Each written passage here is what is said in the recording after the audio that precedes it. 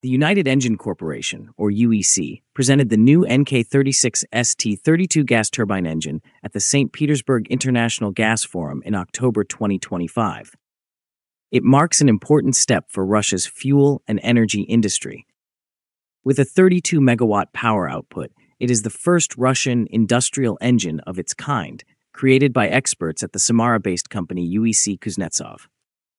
It ensures continuous and efficient gas transportation through trunk pipelines and is designed for use in gas compressor units. This project not only expands the NK series of industrial engines, but also allows Russia to fully replace imported Western energy equipment in this power class. In recent years, Russia has struggled to achieve technological independence in industries that rely heavily on foreign technology especially in energy, oil, and gas infrastructure. Previously, this market segment was almost entirely dependent on imported equipment, since the country had not developed its own 32 megawatt gas turbines.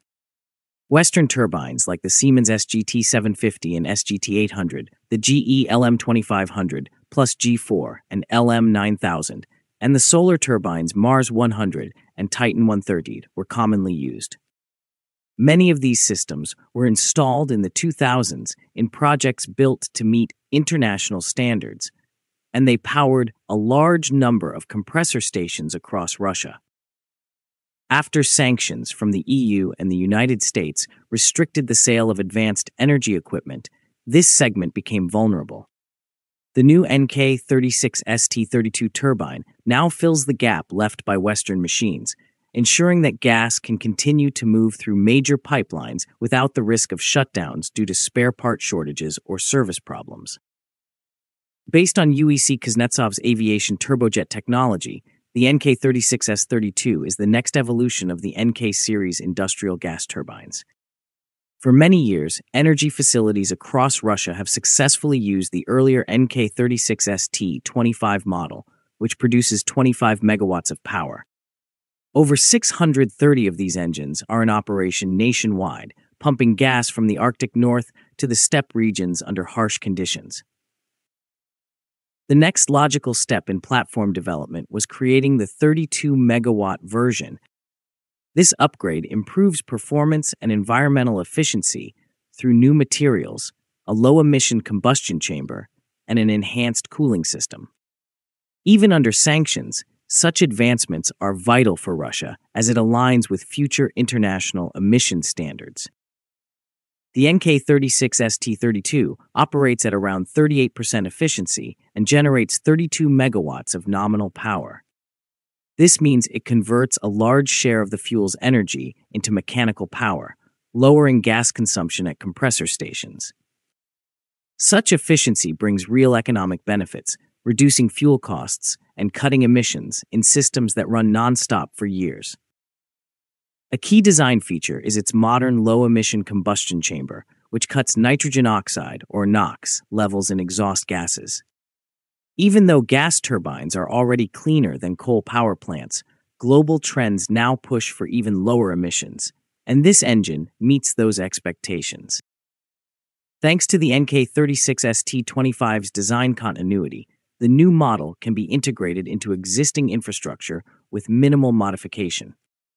That's crucial for many operating compressor stations, as it boosts efficiency and power without requiring costly overhauls. By September 2025, the first NK36ST32 prototype had completed its initial round of factory testing in Samara. During these tests, the engine reached its rated power and met all technical requirements. Engineers simulated real operating conditions to confirm the turbine's stability and thermal performance. The successful test results paved the way for mass production. UEC officials confirmed that the new turbine will soon be deployed at new facilities and during modernization projects. In the coming years, it will enter service with major gas transport companies, including Gazprom and Transneft. Before 2022, Western gas turbines were widely used in Russian projects requiring 30 to 35 megawatts of power. The most common were Siemens SGT 800 and SGT 750, GE's LM2500 plus G4 and LM9000, and Solar Turbine's Titan 130 and Mars 100. These machines were efficient and reliable, but after 2022, supply disruptions and lack of servicing made them difficult to maintain. In this context, the NK36ST32 serves as a direct replacement for Western units such as the Siemens SGT 750 and the Solar Titan 130. In some cases, it even matches the GE LM 2500 plus G4 in performance. The low emission design meets the same environmental standards as Western equivalents and achieves comparable efficiency. Installing the NK36 ST32 in new and upgraded stations can cut long term operating costs. Lowering specific fuel consumption on trunk pipelines can save billions of rubles annually while reducing foreign dependence and currency risks. Service availability is another key advantage. Because the NK36ST32 is maintained and repaired domestically, downtime is reduced and reliance on foreign vendors is eliminated. This is especially critical for pipelines that serve export routes to Asia and other regions. The turbine's low emission chamber also helps improve local air quality near large compressor hubs by cutting nitrogen oxide emissions. Since many stations are close to populated areas, cleaner exhaust directly benefits nearby residents. Improved fuel efficiency also means lower greenhouse gas emissions for the same gas throughput. This aligns the NK36ST32 with global carbon reduction goals while boosting economic efficiency. UEC Kuznetsov plans to expand its industrial engine lineup, possibly creating even more powerful and efficient versions. The NK36ST32's technology could also be adapted for power generation in combined cycle plants that produce both heat and electricity. This innovation also has strong export potential.